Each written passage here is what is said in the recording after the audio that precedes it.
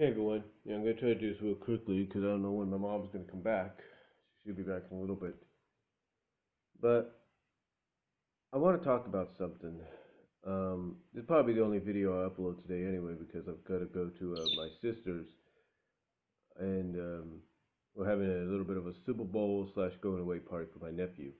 He's going into the Navy, so anyway,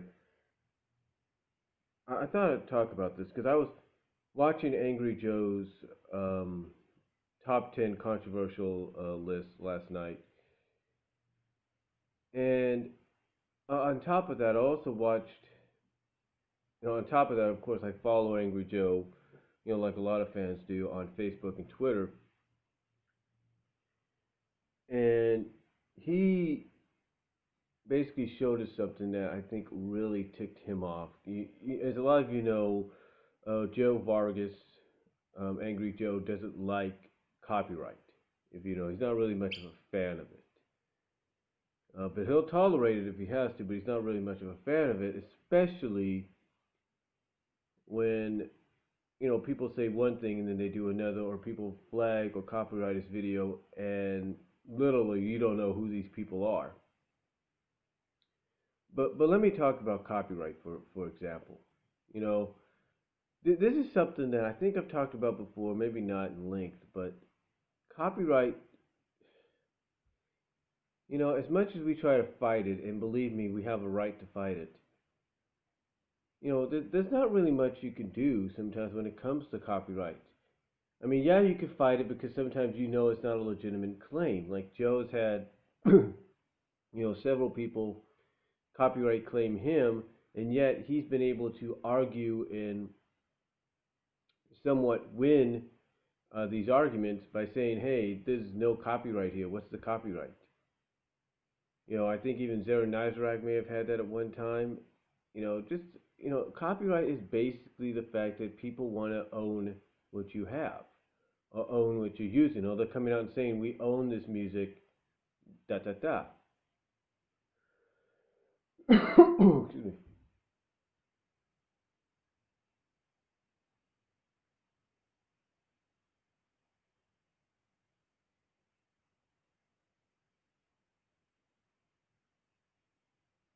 So by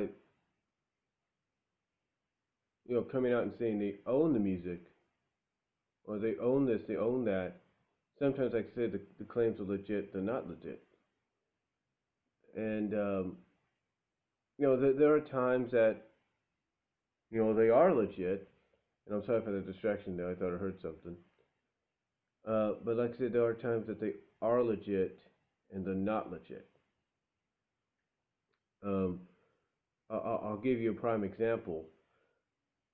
When I would do fan vids or I would upload maybe some videos of my wrestling, my CAW wrestling, whatever you want to call it,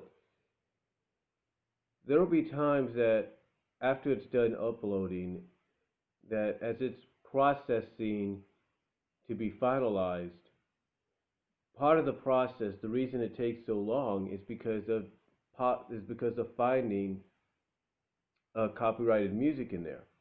Now, majority of the time, from what I've seen, the copyright music uh, will be okay. Basically, they'll say, "All right, this is copyrighted music." Da da da. Uh, they'll probably put like a little bar in in the middle with a little advertisement on the bottom of your video, or they might start your video off with an advertisement to, that you can skip, or sometimes not skip. But basically, they also have, I think they still have it somewhere. They have a link in the description. They add a link in the description box saying, hey, here's where you can get the song if you want it.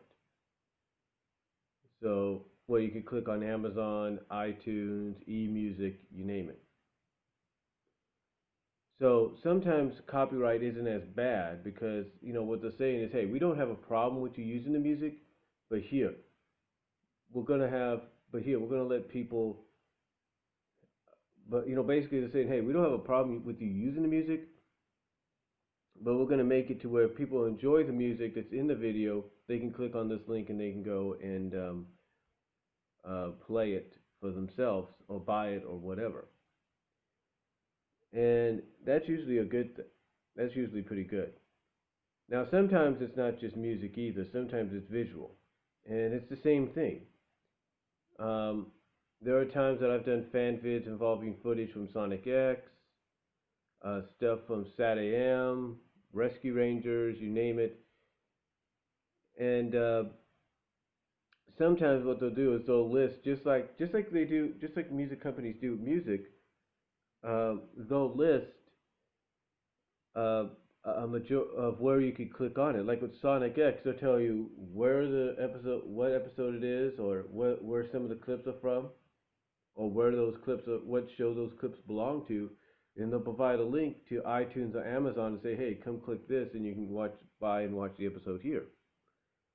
So sometimes that's a good thing, sometimes it's bad because, you know, the bad wise is because is they're making money off of you, even though you're the one that made the video.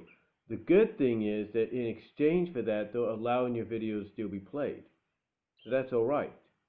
So I kind of look at it as a win-win situation.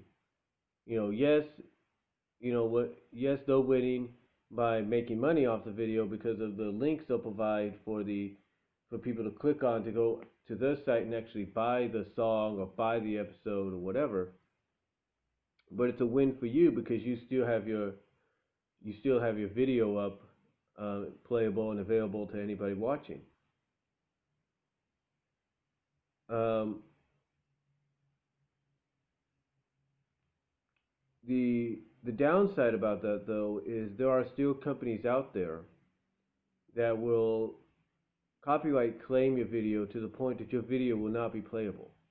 It might be playable to you, but to the rest of the world it won't be viewable. And sometimes it even goes as far as to where it won't be viewable at all. It'll just be taken down. And a lot of people don't like that. I've had it happen to me about a few times. I know it's happened to Angry Joe. I know it's happened to several people. And that's what pisses them off about the copyright deal. Like, okay, here's some of this good stuff that I've mentioned to where, yeah, it's a win win situation, to where, yeah, they win by making money off the song or the footage we're using because they provide the links for people to click on and go check those out themselves at their sites. And it's a win for us because we keep our videos up. But then comes this situation to where there are still companies that say, no, you're not going to have this video played at all. And to me, I think I think it's something that needs to change because we're not really harming anything what some of these companies that still have your videos taken down, muted, whatever, blocked worldwide, they have to understand we're not doing anything. If anything, they should be appreciative of the fact that we're advertising. We're giving them free advertisement of a program, of a show that, you know, some people may or may not know about. You know, so they should be happy with that. They should be understanding of that. And again, like I said, there are those companies that even though they'll make money off of the footage we use or the songs we use because yeah they do own copyright ownership of it so it's sort of a win-win if you will. There are still companies that don't understand that and they need to understand that. They, they need to understand we are giving them free advertising. We're letting them see and getting the word out about these certain programs and they need to acknowledge that. But they don't. They don't. So because they're so stubborn that they don't want people to, they don't want even people like me, Joe, Darren Nizarak, James Rolfe, or anybody to do that. And you know, and it's not just you know shows either. It's video games. Like Angry Joe's a good example of video games. You know, when he he did a three minute video of Nintendo. Nintendo basically, obviously, will let him play his video or do a review, but guess what? Guess what? He can't really get his video worldwide. You see, the, thing with Angry Joe is just like, let's say, Nostalgia Critic, you know, Doug Walker's, they want the videos to be seen worldwide.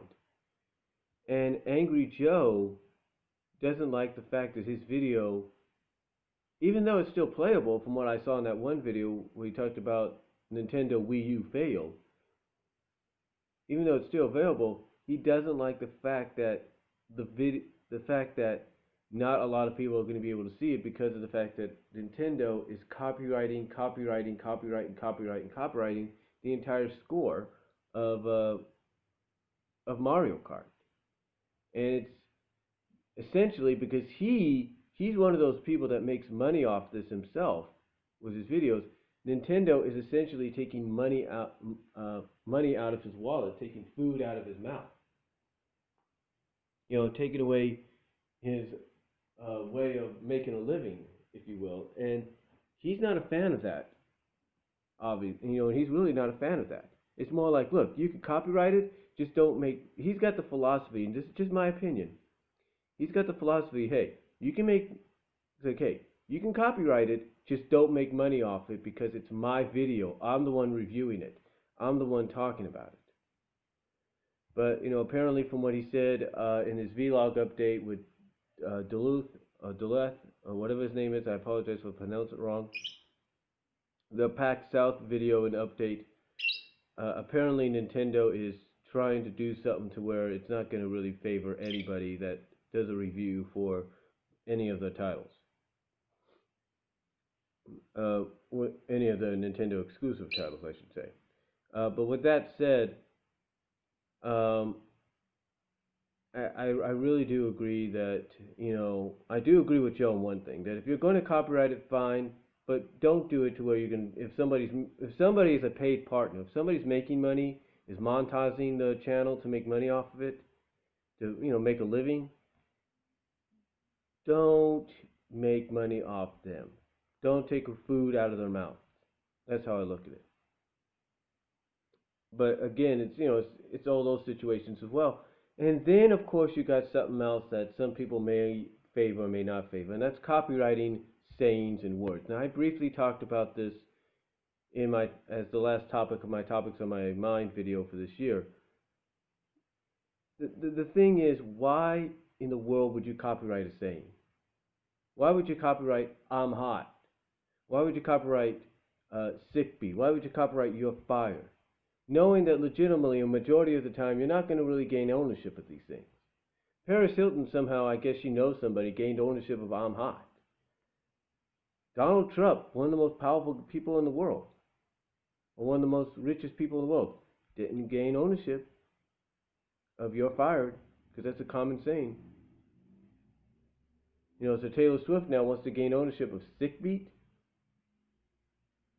You know, I, I said this before and I'll say it again. Basically, the reason people are copyrighting sayings like this is legacy. That's all it is. It is legacy. They want to have something that when they finally hang it up, they finally call it quits. They finally say it's time to retire. They want something that's going to define their legacy. They want something that's going to get them to be remembered by. That's all this whole copyright of sayings goes. That's why Taylor Swift wants to copyright Sick Beat. So that let's say she ever makes a ever creates or find if she ever founds or finds her own record label, creates her own record, record label or company, she creates her own record company. One of the record labels out of it, she could call it. She could use. She she can use the sick beat, a uh, saying for a record label. Clothing line, same thing. You know, but the thing is, the thing is, that's the reason people do this. They want to have legacy. They want to have something that they can name whatever they do outside of what they're doing uh, with. Like I said, record label. They, you know, Paris Hilton ever creates a record company of her own. She can call it Sick Beat Records, or you know, Sick Beat Clothing Line, whatever. It's all about legacy, and that's why you have these celebrities and sports figures copyrighting stuff, these sayings and stuff because of legacy. So, uh, but that's just my take on the whole copyright situation. And um, that's really all I have to say about it. I, I like I said, there are some good about it, good, good and bad about it, sort of win-wins here and there.